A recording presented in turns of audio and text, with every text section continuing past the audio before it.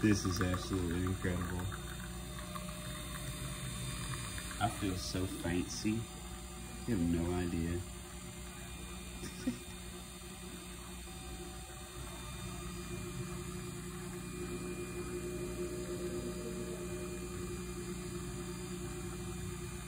it's like all that hard work, you know?